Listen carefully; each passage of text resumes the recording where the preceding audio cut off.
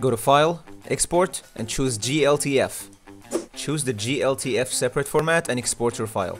Now go to the folder, compress everything into a zip file. Go to Sketchfab, click Upload from the top right corner and upload your zip file. After the upload is complete, check the preview on the top left side. You might get this 404 error, just refresh the website.